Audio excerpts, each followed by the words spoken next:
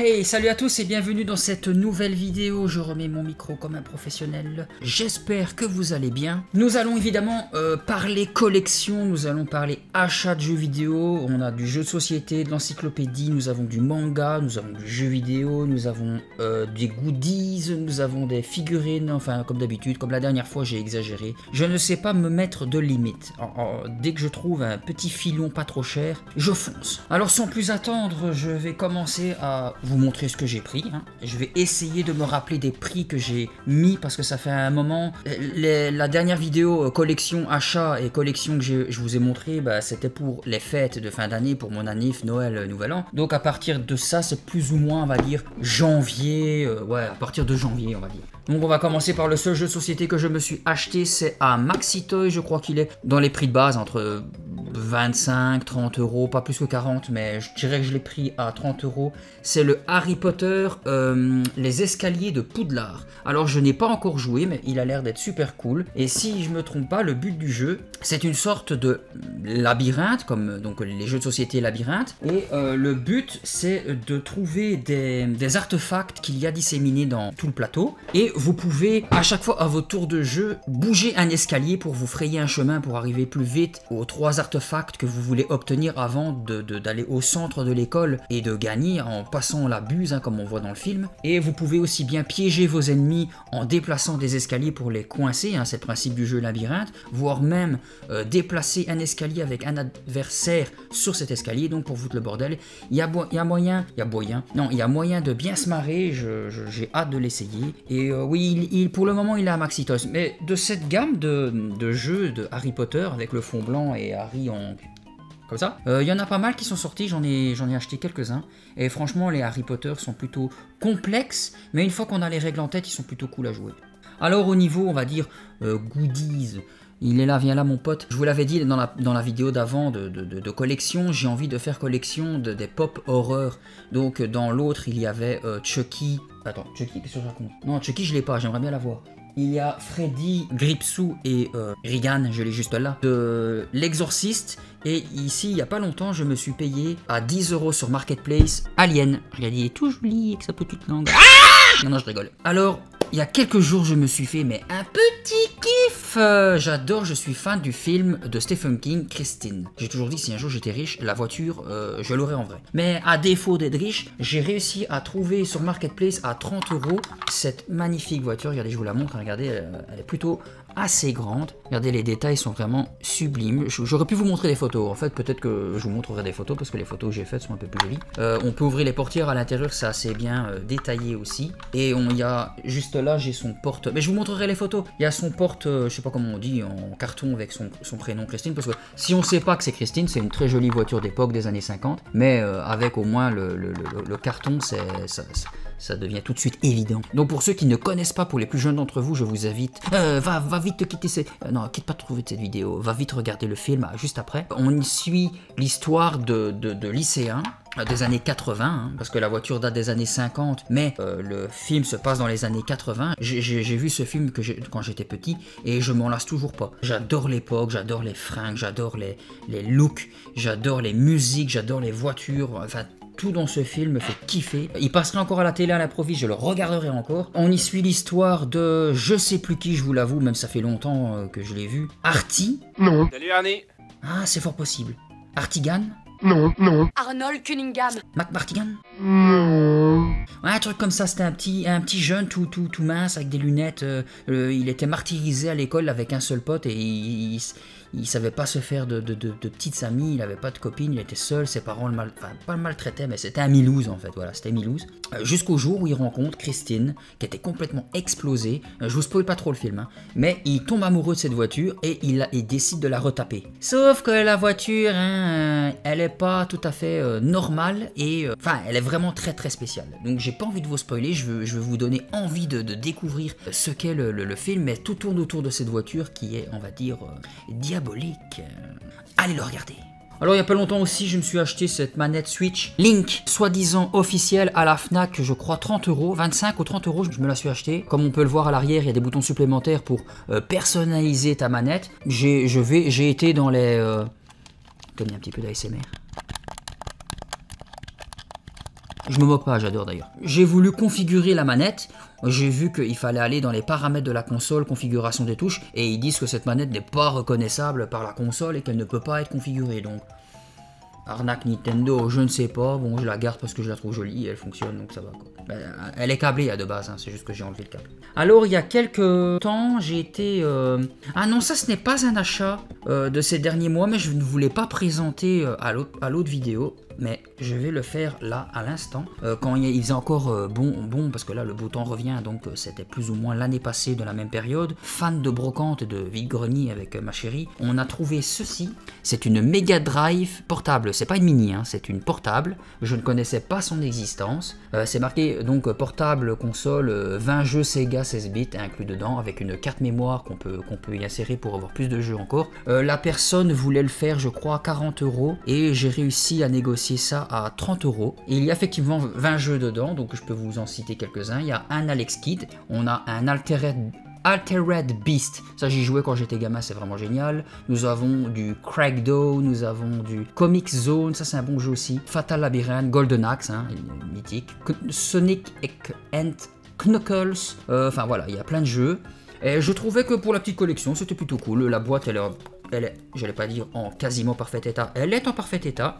Donc je sais pas si, ah voilà, on le voit, ouais, ouais, on voit, plutôt bien. Regardez, hein, Altered Beast, les jeux. Ils sont, l'image est plutôt jolie, les couleurs sont vraiment chatoyantes. Voilà, on a de quoi s'amuser, hein, c'est vraiment pour passer le temps. voyez, là, je fais tout péter. Donc le son, hein, je me regarde, mais c'est complètement débile, c'est là que je dois vous regarder.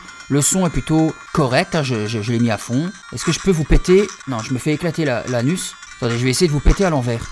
Avec le pouvoir de l'amitié, c'est pas possible. Eh eh, j'ai quand même réussi, hein Alors, je vais passer au manga, j'en ai quelques-uns. Je vais d'abord parler de The Promise... Promise Z Non, The Promise Neverland. Euh, Il y en a 20, je vous les montre pas parce qu'il y en a 20, je les ach- j'en ai acheté 20, justement. Euh, ils sont incroyables, j'ai vraiment kiffé et l'animé, mais je préfère encore plus le manga parce qu'il y a tellement de... Il y a une si grosse différence entre l'animé et le manga. Il y a, dans l'animé, il y a blindé de personnages en moins qu'il n'y a pas dans le manga. On va dire que ça, ça suit, l'animé suit l'histoire du manga jusqu'à un certain point. Pour ceux qui ont vu l'animé, euh, sans trop vous spoiler, hein, les enfants s'évadent et euh, ils vont jusqu'à euh, le premier repère où ils se sentent en sécurité après avoir rencontré deux démons euh, gentils dans la forêt. Ils trouvent un bunker caché sous, sous, le truc, pensant voir leur sauveur, mais en fait, dans le bunker, il n'y a personne dans l'animé. Et ben, à ce moment-là de l'animé, dans le manga, ça n'a plus quasiment rien à voir. Euh, tout est différent et c'est vraiment vraiment vraiment génial. On rencontre des tout nouveaux personnages, blindés de nouveaux démons, de la royauté démoniaque. Enfin franchement trop trop trop trop stylé. L'animé était cool mais je vous conseille franchement le manga. J'ai découvert Doubed que j'ai acheté je crois à tout petit prix. Je ne vais pas vous mentir. En général les mangas je les prends entre peut-être 2 voire 4 euros maximum quand en plus ils sont euh, pas trop nombreux parce que 4 euros si t'en achètes blindé là c'est exagéré. Nous avons Doubed. Il y a une particularité avec euh, cette série, si vous pouvez, enfin si vous pouvez le voir, vous avez des yeux, vous le voyez, euh, c'est que les personnages sont avec toutes des masques de- de- d'animaux. c'est qu'il y a trois séries du même auteur, c'est Doubed, Judge et un troisième, je crois que je l'ai pas. J'ai oublié le nom, mais c'est toujours des mangas euh, psychologiques avec des meurtriers et euh, avec des, gosses qui sont euh, pris au piège dans un endroit. Ils doivent essayer, via leur masque, d'essayer de savoir qui est le tueur, qui- parce que le tueur est toujours parmi eux, et ils doivent savoir qui est qui. Il y a de la méfiance et tout ça. Franchement, ils sont que 4, mais des gros volumes, hein, donc ils sont vraiment géniaux. Je vous conseille de les lire aussi, Doubed et Judge, et il y en a un troisième que je veux me procurer, mais j'ai complètement oublié aussi, c'était quoi, désolé. J'ai acheté le premier Black Clover, je vous avais dit que je ferais euh, l'achat des mangas si l'animé me plaisait, parce que je venais tout juste de le commencer. Ici, je suis au plus de 100 et des épisodes. Très bonne surprise. Franchement, ça reste un animé classique, mais qu'a franchement, euh, qu'on a sous le pied, qui commence vraiment à avoir un bon petit retournement de situation que je m'attendais pas à voir. Les combats sont pas tous folichons, folichons, mais il y a un, épisode, c'est ça ne s'arrête pas du début à la fin. Un combat digne de Pain versus Naruto. La QB. Magnifique. Ça a relancé. Il y, a, y a des mangas, il y a des animés que je me force des fois à regarder, et quand je sens que je me force à regarder, ça veut dire qu'il me plaît pas tant que ça. Ça sert à rien de te forcer à regarder un manga, un animé si, si, si tu l'aimes pas au fond. Et le Black Clover, il ne me fait pas du tout cet effet là, et euh, il m'a relancé encore plus la hype après ce combat, et là je suis à un passage où, euh, enfin c'est que de la fight. Donc j'ai kiffé, je me suis acheté, souvent j'achète ou à Club ou à Molière, mais ça c'est en Belgique, je sais pas si vous avez ça en France, mais c'est un ancien château reconstitué si je dis pas de bêtises, en immense bibliothèque, et il y a de tout, hein. absolument tout, aussi bien des romans que des encyclopédies, que, des bandes dessinées, et des mangas euh, à plus savoir euh, où regarder. Je me suis acheté du 2 au 6 Black Clover. Bon, ça a pris plein, ça fait un peu mal au fion quand tu sais que je m'achète de base des mangas entre 2 euros et 4, comme je vous l'ai dit, sur Marketplace. Quand tu t'achètes des mangas euh, prix plein, ça fait très mal quand même.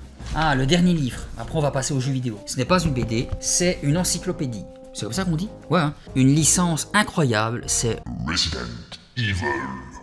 ça va pas recommencer, hein Cette saga, c'est écrit, hein. C'est non officiel, mais d'après... euh, ah, voilà, ici. Génération Resident Evil vous propose de replonger dans les coulisses de cette saga vidéoludique hors norme, d'explorer en profondeur l'intégralité de ses jeux, y compris ses multiples séries parallèles, et d'examiner toutes les facettes de son univers, BD, films, etc. Cet ouvrage le plus complet jamais réalisé sur Resident Evil propose une virée aussi macabre que captivante dans les entrailles de cette franchise qui fête aujourd'hui ses 25 ans. Il est à 20 euros à Molière, comme je vous l'ai expliqué. Je l'ai même pas feuilleté euh, pour voir ce qu'il y avait dedans. J'ai juste vu le sommaire et quand j'ai regardé le nombre de, jeux qui, qui y traitait, le gars, euh, ça part du Resident Evil 1 et tous les Resident Evil 1 d'ailleurs qui sont sortis, que ce soit les remakes euh, du PlayStation 1 jusque et le GameCube et encore ici récemment. Pareil pour le 2, le 3 et compagnie, jusqu'au 8. Donc avec tous les spin-offs, tout l'univers, il y a un timeline un petit peu comme euh, le futur de Trunk où ça, ça se passe là à telle date qui commence de... Attendez, je vais sans trop vous spoiler. Regardez, le monstre il fait 2, 3, 4. Il y a plein de pages. Ça commence de 1918. Je vous montre juste la première, d'où ça commence. La naissance de James Marcus, futur cofondateur d'Umbrella, parce que rappelez-vous, si pour ceux qui sont fans de Resident Evil, qui connaissent bien, ils sont trois, cofondateurs d'Umbrella et futur créateur du virus T en 1918. Et il y a une timeline comme ça, année par année, de tout ce qui se passe, de tous les personnages, de quand ils sont nés, euh, quand est-ce qu'ils sont morts, qu'est-ce qu'ils ont fait comme euh, études, quelle armée militaire, enfin quel, euh, ouais, quel corps d'armée militaire ils ont fait, quand est-ce que... C'est exagéré de chez exagéré. Alors on peut y voir tout plein de, de biographies des personnages, Ada Wong, euh, Léon S. Kennedy trop stylé, Barry Burton, Rebecca Chambers, Chris Redfield et compagnie, il y a toute la bande, tout le monde est là. Ils montrent tous les Resident Evil, euh, les dérivés comme Outbreak, euh, sur Game Boy Color, les Survivors, et comme je vous l'ai dit aussi, il y a blindé d'images et de spoils sur tous les jeux Resident Evil 2, 3, 4, 5, 6, 7, 1, 2, 3, 27, euh, j'espère arriver jusque là. Alors j'avais déjà acheté l'encyclopédie officielle de Zelda, je crois que je suis encore à la moitié, euh, parce que je prends mon temps le lire, mais il me fait, il me, c'est pas qu'il me hype pas, mais à chaque fois je dis, bon allez, je vais le lire ce soir, et puis hop, je fais autre chose. Mais ce Resident Evil ici que j'ai acheté il y a pas longtemps, je l'ai bouffé, euh, tel un zombie euh, devant un cerveau. J'ai tout lu du début à la fin, sauf euh, ceux que j'ai pas encore joué. J'ai pas encore joué au Resident Evil 7 et le 2, 3 remake. Et aussi, du coup, grâce à ce livre, j'ai toujours cru que c'était peut-être pas un bon Resident Evil, mais je vais peut-être essayer de me choper, c'est les Resident Evil. Ah, les Révélations 1 et 2. Apparemment, ce sont vraiment de vrais jeux Resident Evil qui font euh, partie de l'histoire. Je vais essayer de me les procurer sur PS4. Donc, merci l'auteur, merci monsieur Bruno Rocca. Si vous êtes fan, achetez-le. Ah, les jeux vidéo. Alors nous avons euh, deux jeux Switch. Tous ces jeux-là, je les ai achetés vraiment hyper récemment. Donc euh, j'ai deux jeux Switch. 1, 2, 3, 4, 5, 6, 7, 8 jeux PS4 et deux jeux PS5. On va commencer par les jeux Switch. Alors je crois que j'ai acheté, parce que là aussi il faut que je me rappelle des prix, ouais la plupart viennent de Marketplace hein, comme d'habitude. Euh, j'ai acheté, je sais pas pourquoi j'allais dire Resident Evil, j'ai acheté euh, Zelda Skyward Sword HD sur la Switch. Donc ici comme à chaque fois que je peux maintenant retourner les jaquettes, je le fais. Il y a des très jolis quand même. Et à l'intérieur, et bien sûr, euh, c'est la jaquette officielle. Euh, je l'ai acheté, je crois, pour 20 euros. Ouais. 20 ou 30 euros. En tout cas, c'est pas cher quand on voit que Nintendo ne baisse en magasin jamais ses prix. C'est vraiment très rare quand ils font des réductions. Et en général, sur Marketplace aussi, les gens vendent les jeux Switch hyper chers. Donc, je, quand je, saute sur l'occasion d'acheter un jeu euh, Switch sur le net, c'est qu'il est pas cher. En général, je crois que lui, je l'ai peut-être pris 20-25 euros.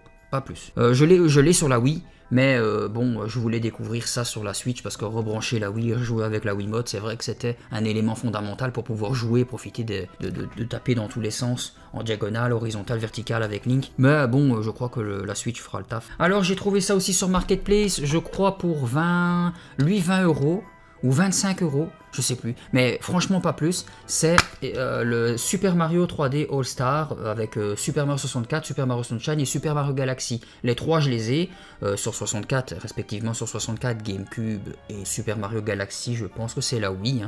Oui. Et euh, bah oui, les, photos juste à côté de moi, je suis débile. Euh, je pense que je pourrais me refaire, c'est le Sunshine. Je, trouve qu'il a, une atmosphère plutôt sympathique, j'aime bien. euh, je sais pas que dans la vraie vie, j'aime bien nettoyer, mais dans le jeu, j'aime bien euh, nettoyer la, saleté des, couleurs qu'il y a dans, l'univers de Mario Sunshine. Je trouve plutôt cool. Alors, on va passer au jeu euh, PS4. Alors, trois jeux PS4, je vais les mettre voilà, ensemble. Encore une fois, c'est un magasin, bon, moi je suis belge, donc j'ai trouvé ça en Belgique. Je sais pas si vous, vous l'avez en France ou dans d'autres pays. Euh, ça s'appelle troc.com et c'est une, une sorte de comment je vais dire ça? C'est une sorte de cache converteur, mais plus brocante. Donc c'était un immense hangar avec absolument de tout. Il y avait aussi bien des, instruments de musique, des meubles, des vieux jouets vintage, des BD, des instruments de sport, des instruments de, jardinage, des instruments de torture. Et il y avait bien évidemment du jeu du manga et du jeu vidéo. Bon, j'ai pas trouvé quelque chose d'intéressant au niveau manga, mais au niveau euh, jeu vidéo, j'ai trouvé Darksiders 2 à 10 euros. euh, Darksiders 2. En fait, je le voyais très souvent sur Marketplace et j'hésitais à l'acheter parce que j'ai le 3 sur euh, le PS Plus et je me suis dit que euh, le 3, je voulais euh, l'avoir en vrai et je ne savais pas qu'il existait le Darksiders War. War euh, attends, comment il s'appelle ce con? War Master Raid Edition. Bon, je vous spoiler un petit peu, mais il est là. Euh, donc, je me suis dit, bah, Darksiders 2, je l'ai acheté. Tant qu'à faire, je vais vous montrer qu'aussi sur Marketplace, à... je l'ai eu à 5 euros celui-là, Dark- Darksiders War Master Edition. Comme ça, après, il me restera plus qu'à acheter le 3. Je ne sais pas quand est-ce que je le trouverai à bon prix, mais je le trouverai un jour à bon prix. Alors sur 3.com, donc Darksiders 2 à 10 euros, Shenmue 1 et 2 à 12 euros. Je trouve que c'est pas du tout cher pour euh, deux, yeux- oui effectivement, deux jeux immenses parce que j'y ai jamais joué, mais j'ai regardé mon cousin y jouer quand j'étais gamin sur euh, Dreamcast. Il avait l'air d'être très très long, d'être très très très complet, un petit peu de GTA de l'époque. Et euh, je, je sais pas s'ils ont bien ou mal vieilli, mais ça me fait plaisir de l'avoir quand même dans la collection. Je vais le faire, comme je vous l'ai dit, j'ai une cinquantaine, soixantaine de jeux à faire parce que bon, il, augmente plus que de jeux que je joue pour le moment, enfin même si je, je rafale les jeux. Donc Shenmue 1 et 2, 1, 2, je sais plus parler, 1 et 2, et euh, bah, je, vais, essayer de me procurer aussi à petit prix le 3. Et le troisième jeu sur troc.com que je me suis pris à 15 euros sous blister, c'est le DMC. Maintenant c'est officiel, parce que la dernière fois je vous avais dit il me manquait des Devil May Cry dans la collection. Euh, J'avais le 1, le 2, le 3, le 4. Je me suis procuré le, HD, euh, enfin le remaster HD du 5 sur PS5, et il me manquait DMC, donc qui parle de la jeunesse de Dante. Et je l'avais pas, et je l'ai trouvé à 15 euros sous blister. Donc je pense que ce n'est pas encore à un très gros prix. Je me suis fait vraiment plaisir. J'ai pris ces trois jeux-là. Je pense que je vais vraiment m'amuser comme un petit foufou. Euh, je me suis trouvé c'est celui-là, Sherlock Holmes The Devil's Daughter. Donc euh, j'ai découvert euh, les Sherlock Holmes avec Crime et Punition. J'ai vraiment adoré. Je l'ai eu à 10 euros sur Market. J'ai hâte de le faire. Graphiquement, il a l'air très joli. Il a l'air d'être- vraiment super cool. Le diable se cache dans les détails. Donc ça me donne très envie de voir ces fameux détails. Alors rappelez-vous, dans l'autre vidéo, vous avais dit que j'avais trouvé Little Nightmare 2 à très bon prix aussi sur Market, je sais plus à combien je l'ai pris, mais il était, je crois, 20 euros, et qu'il était très difficile de se procurer le 1. Eh ben lui, euh, j'ai fait une petite trotte quand même pour le choper, mais j'ai trouvé le premier à 20 euros quand même, je pense, si je dis pas de bêtises. Peut-être moins cher, mais pas plus. C'est le Little Nightmare 1, avec la bande son originale incluse à l'intérieur. Voyez? Ça fait, ça fait zizir, ça fait toujours zizir d'avoir des petits bonus. Je suis très content, je vais pouvoir me faire l'histoire du 1 et du 2 dans l'ordre, parce qu'on m'avait dit qu'on pouvait jouer aux deux sans trop euh, connaître le premier, mais j'allais quand même être un petit peu déçu de ne pas me familiariser avec le petit personnage. Donc voilà, bah, je suis très content d'avoir les deux premiers. Alors les, jeux les plus récents, ce sont les 4 derniers, PS4 et PS5. Je me suis enfin procuré pour 10 euros, c'est le Dragon Ball Fighter Z, que je kiffe, que j'ai sur PC, mais je trouve que j'ai envie de l'avoir sur console. Donc Dragon Ball Fighter Z, Rappelez-vous aussi dans l'ancienne vidéo, j'avais dit que dans les jeux rares que je recherchais, j'avais réussi à, trouver pas mal de jeux. C'est-à-dire, euh, il y avait euh, le premier Nier, euh, il y avait le Little Nightmare, il y avait J Star Victory VS Plus et le Jump Force. Il me manque plus que le Jump Force.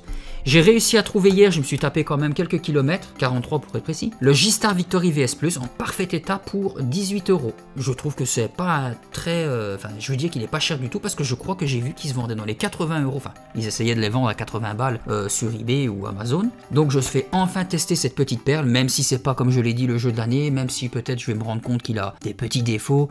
Pour tout fan d'animé, c'est toujours kiffant de se battre avec euh, Son Goku, Naruto euh, et compagnie. Alors les deux derniers jeux PS5 que je vais vous présenter dans la collection. Le premier, je les ai... En fait, les deux, c'est sur Marketplace. Les deux sont à 40 euros pièce au lieu de 80 en magasin. Et euh, comme avec ma copine on fait moitié-moitié, bah, on peut dire qu'on a mis 20 euros à chaque fois pour le jeu ou 40 euros les deux. Euh, le premier des jeux c'est Dying Light 2. Je l'ai pas encore fait hein, parce que j'ai une liste longue comme le bras pour le faire. Donc Dying Light 2, hein, ça c'est la jaquette à l'envers.